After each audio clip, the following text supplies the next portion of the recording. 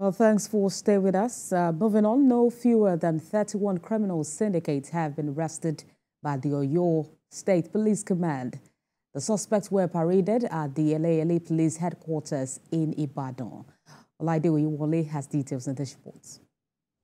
These criminal syndicates may face the prospect of spending not only the remainder of this year, but also beyond behind bars if found guilty of their alleged involvement in the various crimes committed. Elements. The police say the arrests were made possible through their strategic measures in the fight against crime, as well as interagency collaboration in Oyo State.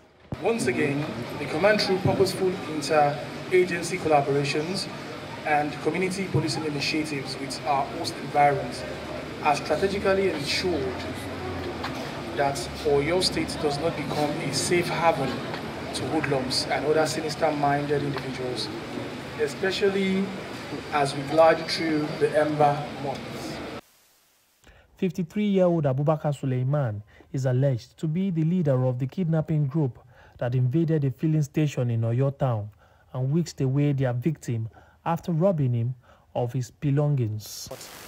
However, while the operatives were busy combing a thick forest, uh, the location where the abducted person was kept, the victim, suspected to be Eldo Stage, uh, the kidnappers caught wind of the operatives and fled, providing an escape opportunity for the victim to go unscattered.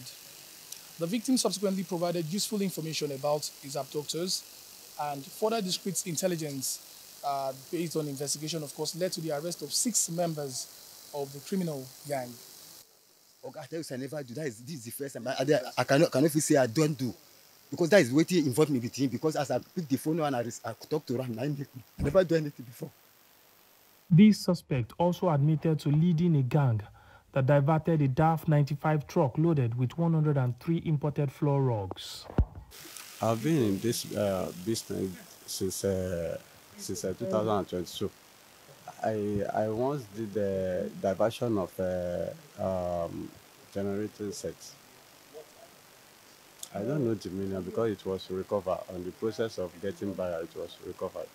Items recovered from the suspects include four vehicles, a DAF 95 truck, motorcycles, and 103 imported rugs worth millions of naira. Olaide Oyewole, TVC News, Ibadan.